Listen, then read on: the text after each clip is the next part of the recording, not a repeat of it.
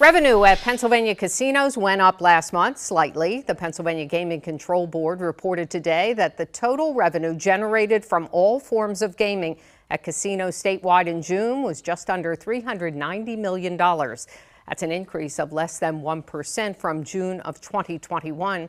Hollywood Casino at Penn National in Dauphin County led all casinos with revenue last month of nearly $57 million. That's a nearly 6% increase from 2021. Hollywood Casino at the Galleria Mall in York County reported $6.8 million in total revenue last month. A casino only opened last August.